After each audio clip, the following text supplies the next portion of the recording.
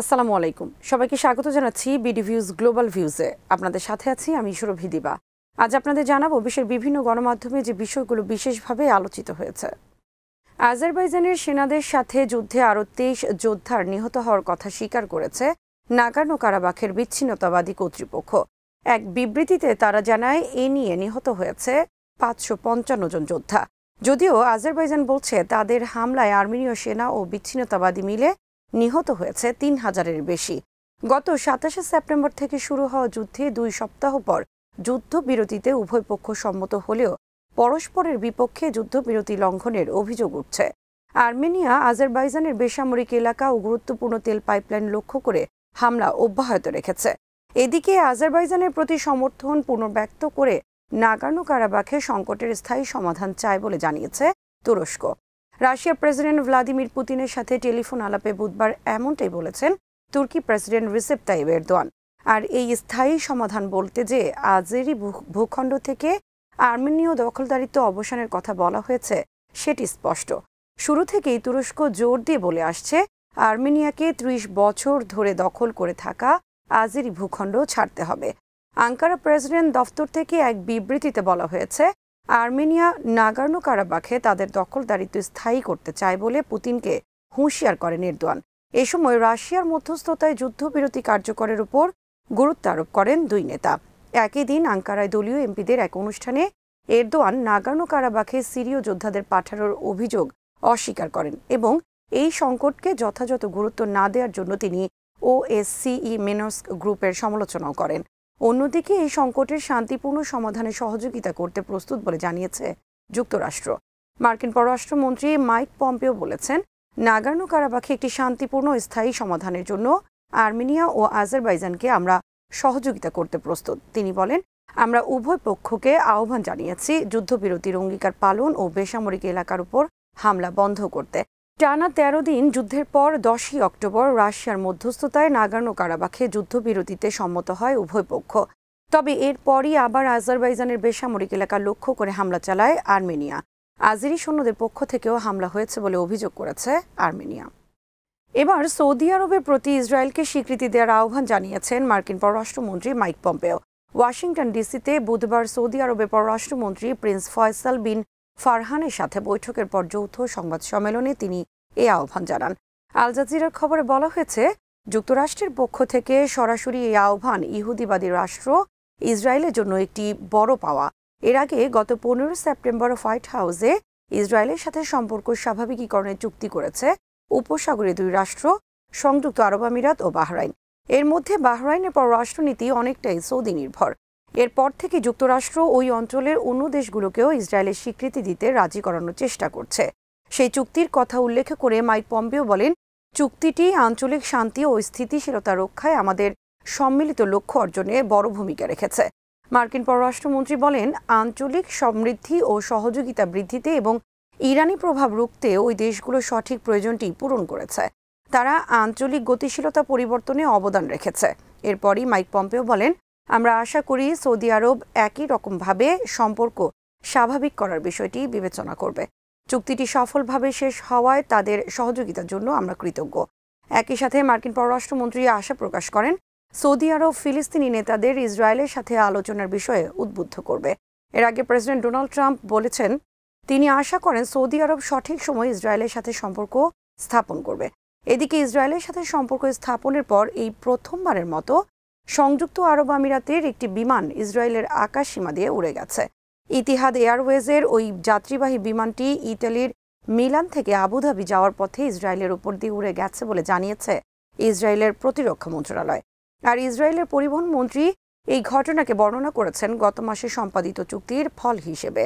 অন্যদিকে ফ্রান্সে নিযুক্ত ফিলিস্তিনি রাষ্ট্রদূতের ইসরায়েলের সাথে সম্পর্ক স্থাপন নিয়ে উপসাগরীয় দেশগুলোর সমালোচনাকে অকৃতজ্ঞতা হিসেবে আখ্যায়িত করেছেন সংযুক্ত আরব আমিরাতের পররাষ্ট্র প্রতিমন্ত্রী আনোয়ার গার্গাস। তিনি বলেন, ফ্রান্সে নিযুক্ত ফিলিস্তিনি রাষ্ট্রদূতের বিবৃতি ও আমিরাত বিষয়ে তার অকৃতজ্ঞ আলোচনায় আমি অবাক হইনি। পাকিস্তান বলেছে, কাশ্মীর ইস্যু নিয়ে ভারতের সাথে আলোচনায় রাজি তারা। তবে শর্ত হচ্ছে, সেই আলোচনা টেবিলে রাখতে হবে কাশ্মীরি নেতৃবৃন্দকেও।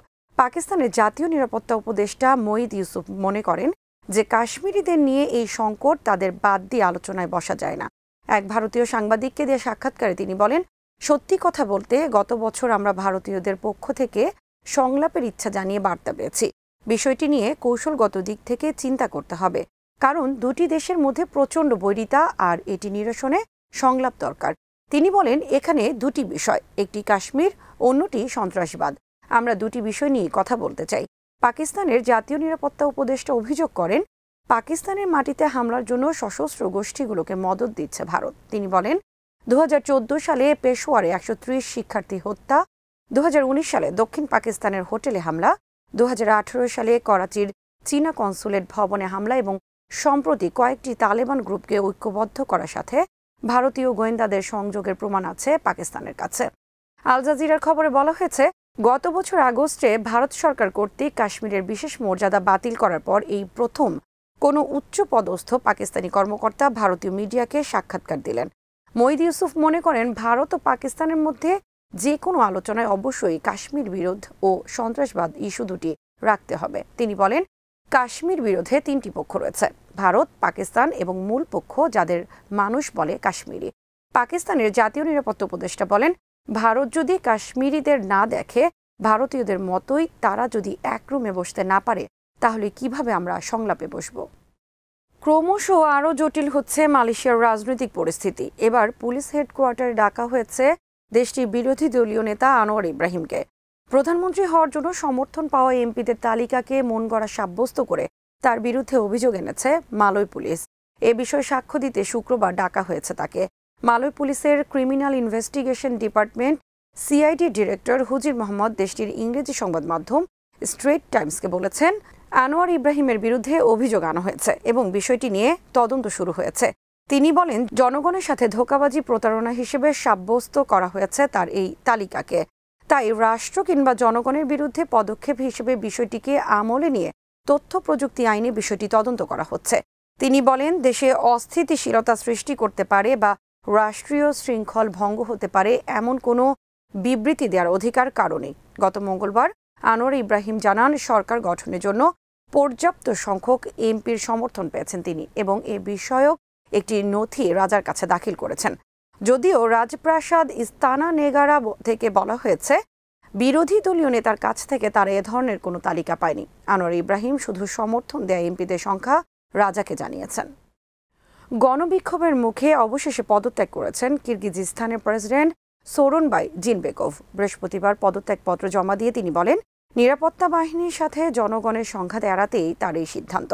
গত সপ্তাহে জিন বেকভ বলেছিলেন, নতুন একটি নির্বাচন পর্যন্ত তিনি দায়িত্ব পালন করবেন। ব্রিটিশ বার্তা সংস্থা রয়টার্সের খবরে বলা হয়েছে দু হাজার পাঁচ সাল থেকে মধ্য এশিয়ার ছোট্ট দেশটিতে এ নিয়ে তিনজন প্রেসিডেন্টকে ক্ষমতা ছাড়তে হল গণবিক্ষোভের মুখে। চীন সীমান্ত ঘেঁষা রুশ মিত্র দেশ কিরগিজিস্তানে গত চারই অক্টোবরের পার্লামেন্ট নির্বাচনের পর থেকেই বিক্ষোভ চলছে ও নির্বাচনে অনিয়মের অভিযোগে ফলাফল বর্জন করেছে বিরোধীরা। বিক্ষোভকারীরা রাজধানী বিশকেকের সরকারি অনেক ভবন দখলে নেয় এবং কারাগার থেকে মুক্ত করে জাতীয়তাবাদী নেতা সাদির জাপারোভকে। জাপারোভই হতে যাচ্ছেন দেশটির পরবর্তী প্রেসিডেন্ট। পদত্যাগের ঘোষণা দিয়ে এক বিবৃতিতে প্রেসিডেন্ট জিন বেকভ বলেন বিক্ষোভকারীরা প্রেসিডেন্ট প্রাসাদে প্রবেশের চেষ্টা করলে সহিংস পরিস্থিতির সৃষ্টি হতে পারে।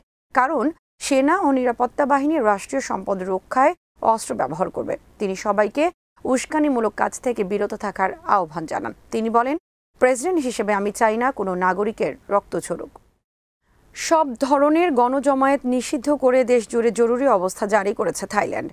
দেশটির গণতন্ত্রপন্থী বিক্ষোভ নিবৃত করতেই সরকারের এই সিদ্ধান্ত।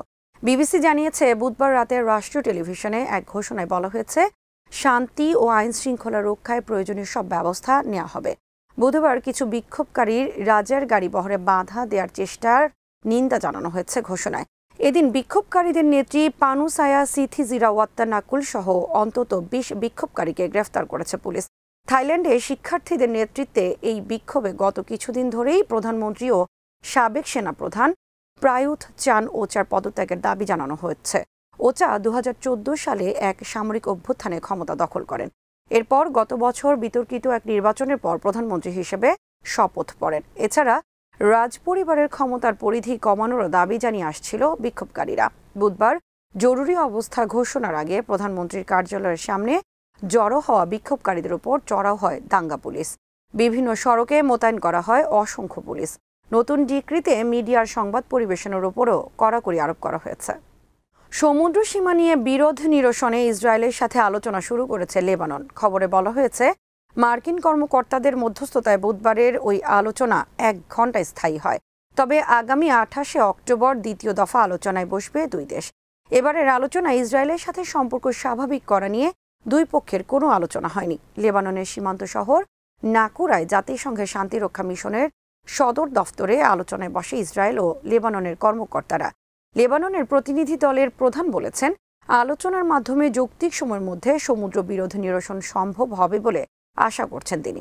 অন্যদিকে লেবাননের সঙ্গে আলোচনার জন্য ছয় সদস্যের দল পাঠায় ইসরায়েল। এদের মধ্যে ছিলেন প্রধানমন্ত্রী বেনিয়ামিন নেতানিয়াহুর পররাষ্ট্রনীতি বিষয়ক উপদেষ্টা এবং সেনাবাহিনীর কৌশল বিভাগের প্রধান। লেবাননের মিলিশিয়া গোষ্ঠী হিজবুল্লাহ ও তাদের প্রধান মিত্র আমল মুভমেন্ট এক যৌথ বিবৃতিতে বলেছে, ইসরায়েল লেবাননের সম্পর্ক স্বাভাবিক করার দিকে ধাবিত করছে। এদিকে লেবাননের সাথে ইসরায়েলের বৈঠকের খবরে প্রতিবাদ শুরু হয়েছে। সীমান্তের লেবাননি প্রান্তে এক বিক্ষোভকারী একটি প্ল্যাকার্ড নিয়ে দাঁড়িয়েছেন, যাতে লেখা, গতকাল আমিরাত, আজ লেবানন, আগামীকাল ফিলিস্তিন। এর মাধ্যমে তিনি মূলত পর্যায়ক্রমে ইসরায়েলকে স্বীকৃতি দেওয়ার পদক্ষেপের দিকেই ইঙ্গিত করেছেন। আল জাজিরার এক বিশেষ প্রতিবেদনে প্রশ্ন তোলা হয়েছে যে যে রাষ্ট্রকে অফিসিয়ালি স্বীকৃতি দেওয়া হয়নি, বরং শত্রু রাষ্ট্র হিসেবে বিবেচনা করা হয়, তাদের সাথে কীভাবে আলোচনায় বসা যায়? ইসরায়েলি সেনাবাহিনীর এক সাবেক কর্মকর্তা আল জাজিরাকে বলেছেন, উনিশশো ছিয়ানব্বই সালে সংঘাত বন্ধে যে সমঝোতা হয়েছিল, সেখানে দুই দেশের সেনা কর্মকর্তারা ছিলেন দুই রুমে। এক মধ্যস্থতাকারীর মাধ্যমে আনুষ্ঠানিকতা সম্পন্ন হয়। কিন্তু এবার সরাসরি মনে হচ্ছে তারা এক রুমেই বসেছিলেন, একে অন্যের মুখোমুখি বৈঠকে। এরই সাথে শেষ করছি আমাদের আজকের আয়োজন। বিশ্বের নানা গণমাধ্যমের উল্লেখযোগ্য সংবাদ নিয়ে কাল আবার হাজির হব। সেই পর্যন্ত সবাই ভালো থাকুন, সুস্থ থাকুন, নিরাপদে থাকুন, আর দেখতে থাকুন বিডি ভিউজ আল্লাহ হাফেজ।